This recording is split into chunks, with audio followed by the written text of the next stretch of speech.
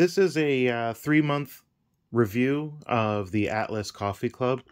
I got three coffees from three different locations around the world.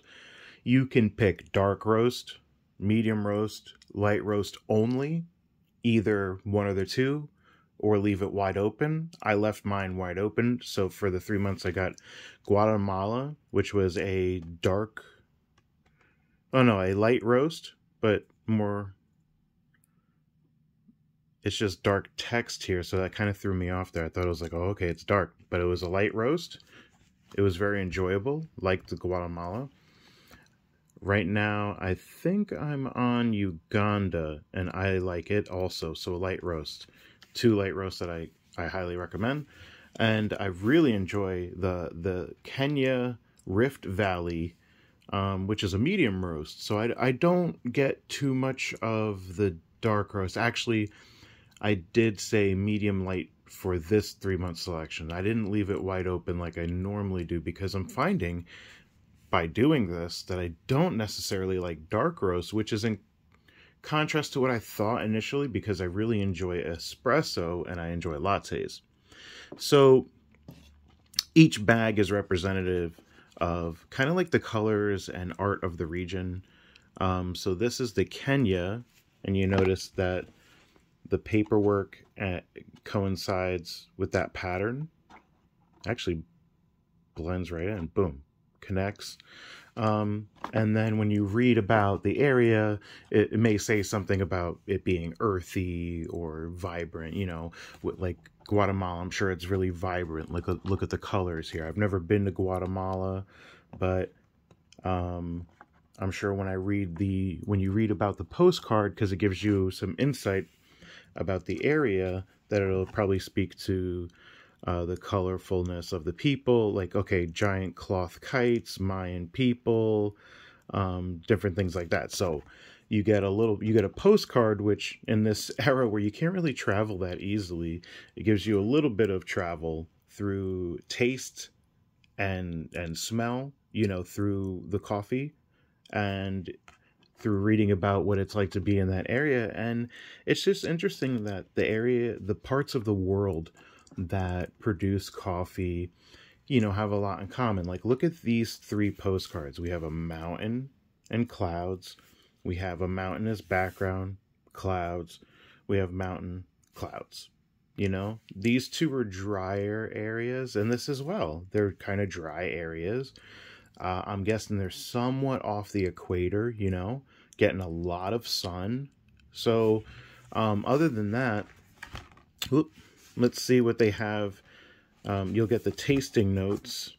So in the Guatemalan, it's red grape, lemon, oat. For the Uganda blend, it's blueberry, lemon, lime, brown sugar. And for the Kenyan Rift Valley, it is red apple, baking spice, and oat milk. So a big, big variance in flavors, which tells you that coffee is not ubiquitous. You know, it does taste different depending on where it is coming from. This one recommends a Chemex. This one re recommends a, a drip. This one an AeroPress. So three different styles to kind of extract those tasting notes. Um, so not only do you travel to the area with the postcard for each, you get some of the color uh, and and culture again with the bags and the art. Um, but on the back side, you get the coffee history of the region.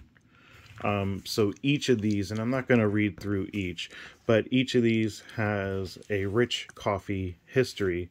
Um, I'll put each up you can pause and read about it, each one if you want.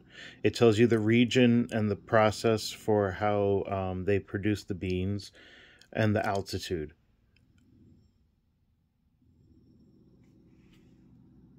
Okay. Here is Uganda.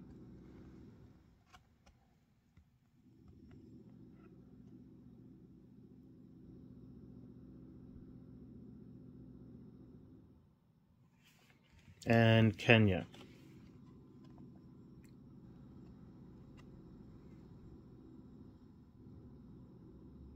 That way you can read about each. And I'll hold the postcard for for each. So you could read, you could pause and read the postcard. So this is Guatemala.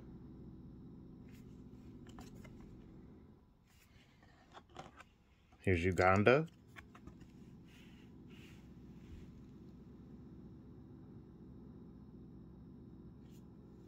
And Kenya.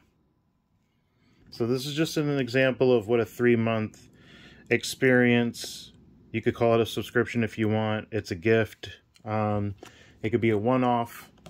So however you want to experience coffee in a different way, sure, you could go to um, your store uh, you know, a supermarket or a store and buy some whole beans. But I noticed that when you go to the supermarket nowadays, that it's not common to have a, a wide selection of whole bean, that the majority of it is already ground.